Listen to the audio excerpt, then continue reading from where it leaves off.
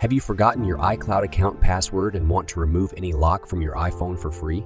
If so, stay until the end of the video to find out how to do it. In this tutorial, I will show you how to install a custom iOS to bypass any lock on your iPhone. Previously, in my last video, I showed the process on another iPhone where we could see how by installing a modified firmware from the GNZ Germany site, we managed to flash the device and thus regain access to the iPhone.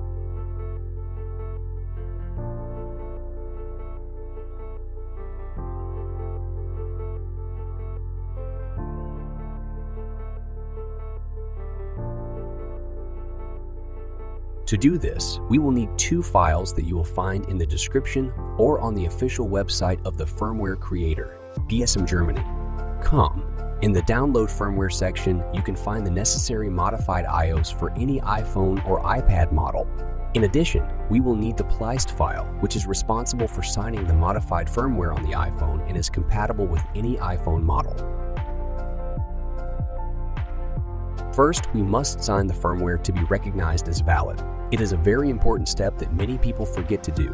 Let's open the PLIST file and copy all its contents.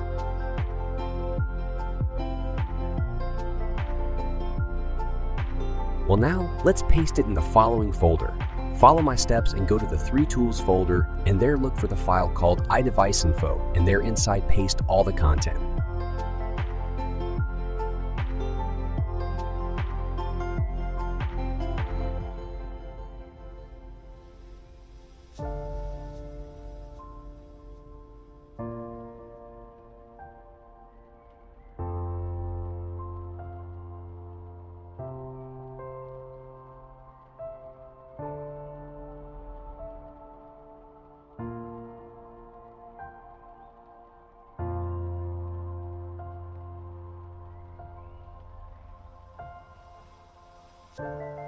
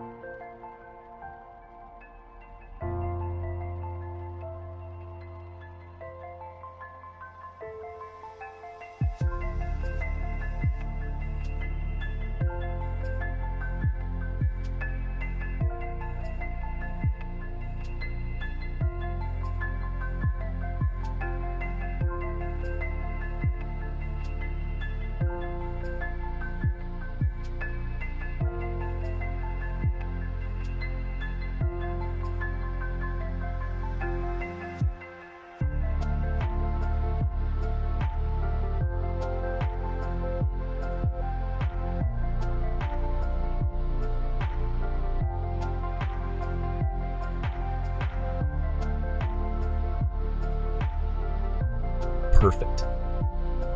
Let's start by connecting our iPhone in DevFu mode to 3 Tools and opening the plist file we downloaded. Now let's install the modified firmware on our iPhone. Press Quick Flash mode and then the flash button. The process usually takes a couple of minutes.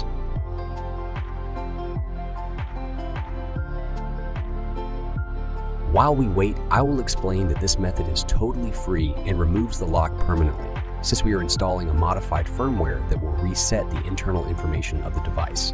This way, when the iPhone connects to Apple servers, no lock will pop up.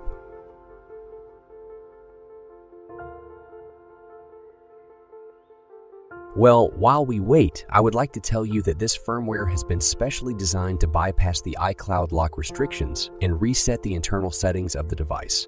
The PLIST file is essential in this process, as it contains specific instructions for signing the modified firmware. By pasting its contents into the iDeviceInfo folder inside Through Tools, we are paving the way for the software to recognize and apply the necessary modifications to your iPhone. Once we connect our iPhone in DevFu mode and open the PLIST file in 3 Tools, the installation process of the modified firmware starts. During this process, the software interacts directly with the internal components of the device, resetting its settings and removing any existing locks. The customized firmware acts as a sort of master key that allows the iPhone to connect to Apple servers seamlessly. Being specifically designed to bypass iCloud locks, the device is recognized as authentic and legitimate, allowing for seamless Apple account linking.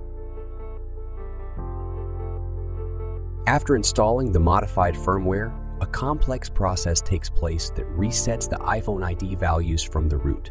On a technical level, the custom firmware performs the following actions. First, Partition Restore.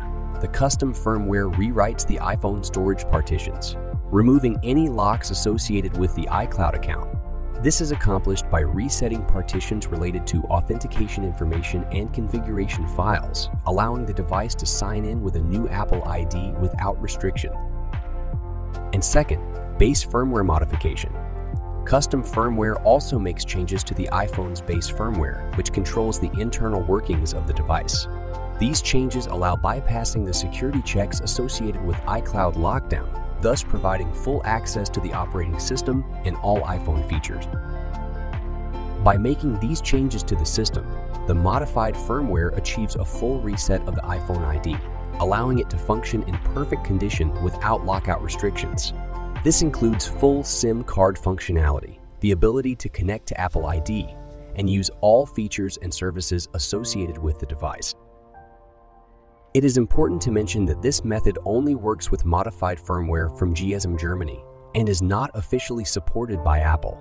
This is a free and legal alternative technique used by some users to unlock their devices and regain access to the full features of their iPhone.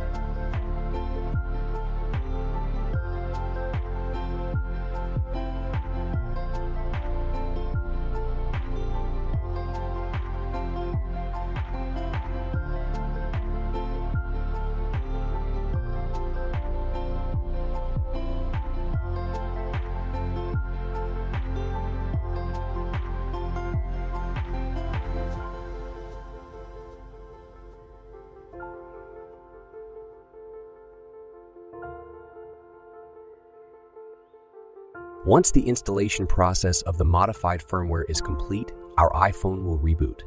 Let's skip the initial steps and it will take us to the main screen. As you can see, calls are working smoothly and we can link our Apple account without any inconvenience. Thank you very much for following this tutorial.